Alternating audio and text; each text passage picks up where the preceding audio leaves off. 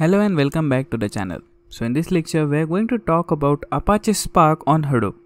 So in the previous lecture we have seen what is Hive and we have used Hive to handle the structured data present in the Hadoop. And we have executed simple SQL commands to get meaning out of our data. So from this lecture we are going to talk about Apache Spark and why it is so popular nowadays. So Spark is nothing but a open source cluster computing system which will used for processing large data sets and it provides a high level APIs in Java, Scala, R and Python. So you can write Spark program in any of those languages. And it is also an optimized engine which supports general execution graphs. But wait a minute. We have used MapReduce for processing the data, right? So why we need Spark then? Because in Hadoop we have our own core Hadoop component which is MapReduce for processing the data. So why is Spark really different than MapReduce and why it is used nowadays? So the first thing is it can process the data both in real time as well as in batch mode. So what it means is Spark can handle real time streaming data which comes from social media data. So for example it could be the data coming from Facebook or Twitter feeds or else if you have a sensor which generates data every second so that is not a batch data. So it comes under a category of streaming data whose velocity is more than batch data. But in MapReduce we can only have capability of processing batch data. So here by using the Spark streaming which we are going to discuss in our subsequent lectures you can deal with real-time data as well the second one is, and it is very important, Apache Spark is so fast, way faster than Hadoop.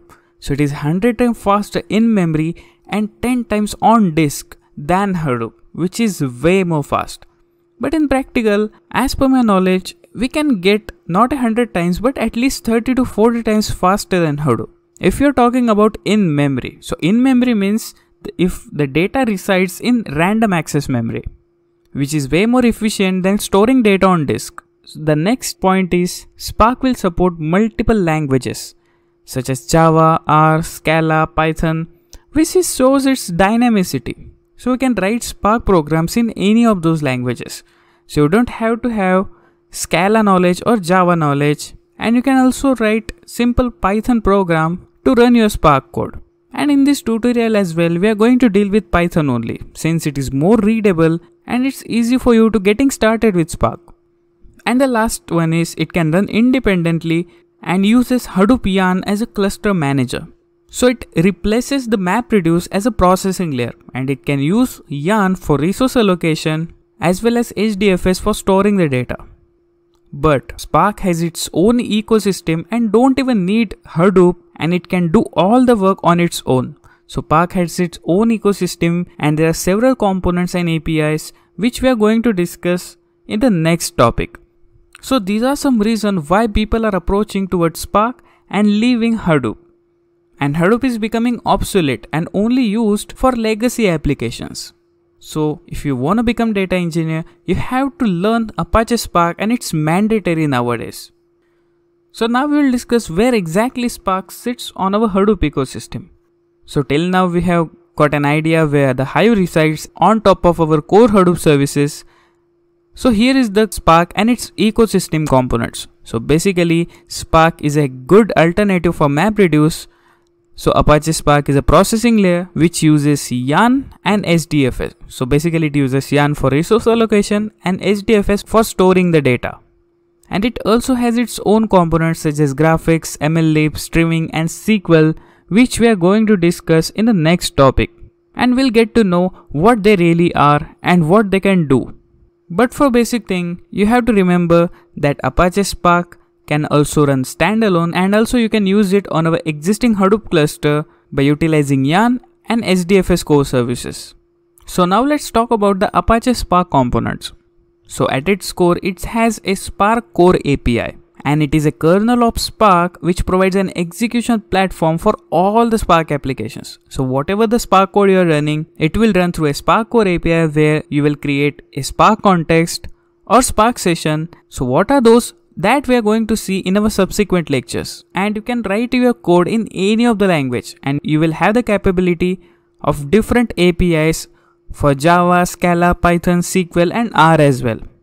So basically it is nothing but a generalized platform to support a wide array of applications that we are going to discuss.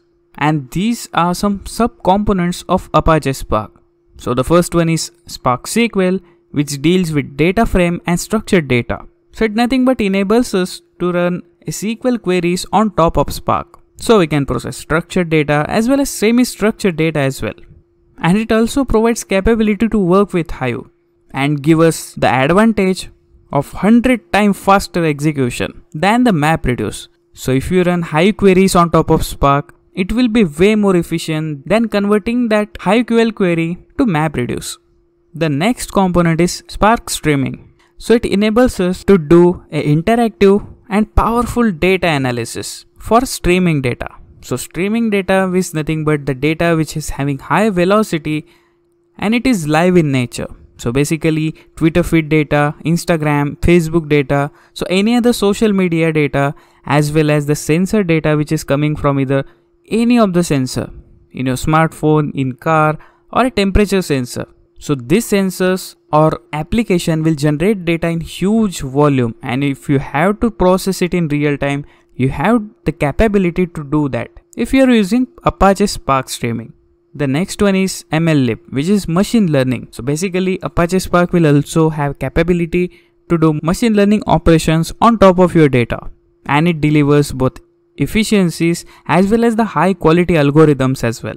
And recently it has become a hottest choice for every data scientist because it gives us the in-memory computation which is nothing but caching the data into memory for faster execution which has way more benefits and you will get that idea when we'll get our hands dirty when writing spark queries and running it on the cluster and then we have another component which is GraphX which is used for graph computation so for example, if you have a social media data, you will have different profiles of different peoples around the globe. So to find the relationship between two peoples, it will have to do the graph computation. So that was just a simple example to get you a clear idea what it is. So basically Apache Spark GraphX API is nothing but a graph computation engine which is built on top of Spark Core API for processing graph data at scale. So these are some basic components of Apache Spark which will help us to serve a wide array of applications. So now let's discuss how really Spark application works.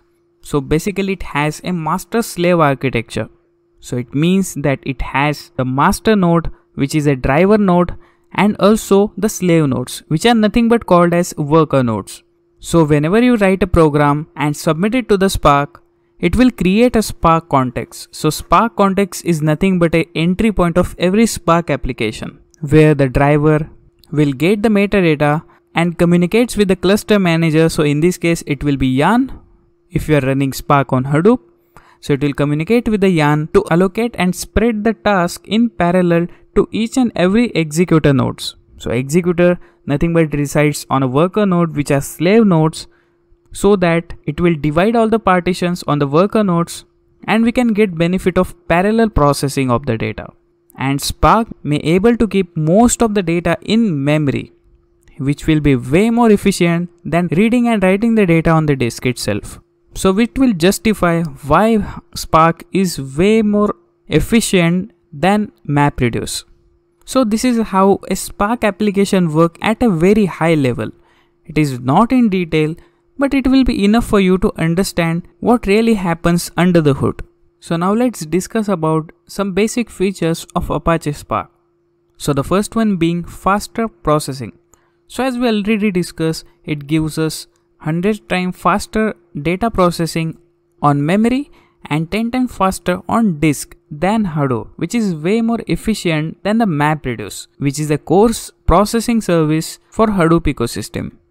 The second one is it does the in-memory computation. So in-memory means it caches the data on random access memory, which is way more efficient than reading and writing it from the disk.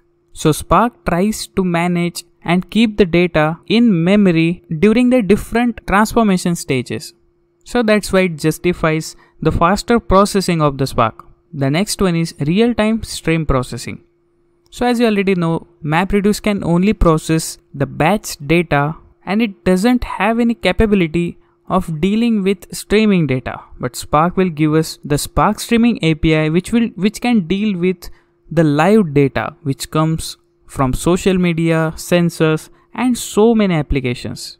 The next feature is lazy evaluation which means if you are doing different transformation on the data, it will not calculate it or do its processing for each and every transformation. It will only plan it and do all the operation whenever you are giving an action in your Spark code. So there are different actions such as count to get count of the items, the collect which is also a very common operation which returns the entire data frame or RDD. So these all we are going to discuss in the next lecture and also there are some different actions such as take, top, count by value, reduce, fold and aggregate.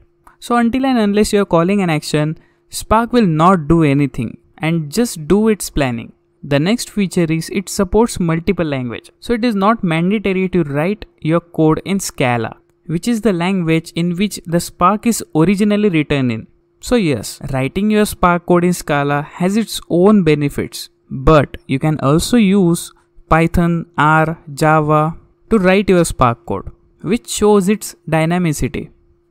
And the last one is it is integrated with Hadoop. So you can use Spark in standalone way as it has its own ecosystem. But if you already have a Hadoop project and if you want to implement Spark in it, you can use Spark as a processing layer in your Hadoop ecosystem, which sits on top of Yarn and gets the resource management from Yarn and storage layer from HDFS. So it can easily integrate with your existing Hadoop ecosystem. So those are some features of Apache Spark. So I hope you got a high level idea what is Apache Spark, why we are using it and why every data scientist is mandatorily using it around the globe. And also we have seen the basic components of Spark, how the Spark application works in a very simple way and some features at the last. So from the next lecture, we are going to focus on the major topics such as RDD, data frames, and how to write a Spark application in detail. So I hope you like this lecture. So please subscribe to our channel and also ring the notification bell to get the latest updates. And don't forget to follow us on our social media that have linked in the description below. Thanks for watching.